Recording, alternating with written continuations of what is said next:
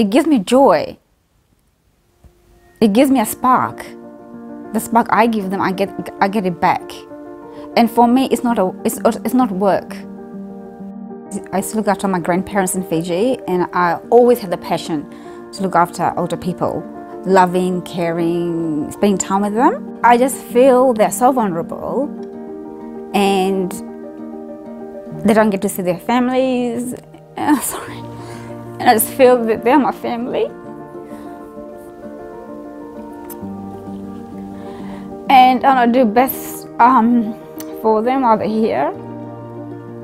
So when I leave work, I just feel rewarded and at peace that I have done a huge difference in their lives. While I was on the floor, whomever I was looking for, that I've made a huge difference.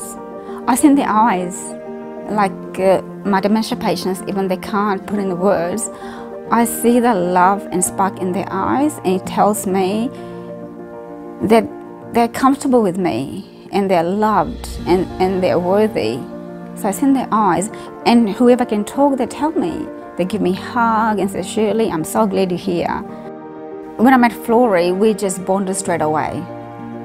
Sometimes it takes a while to bond with residents, but Florrie and I just bonded straight away, like a grandma and granddaughter relationship.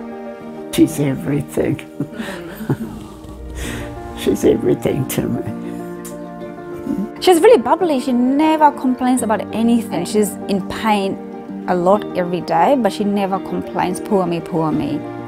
She always give you a smile, always give you a compliment. She's always happy, joyful. Mm. She, oh, she's just lovely.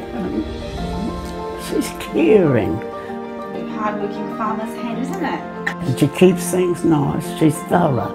The moment I stepped in the door, Cheryl was here and I felt, I felt happy. Mm make, make them feeling worthy and valued, that they are people.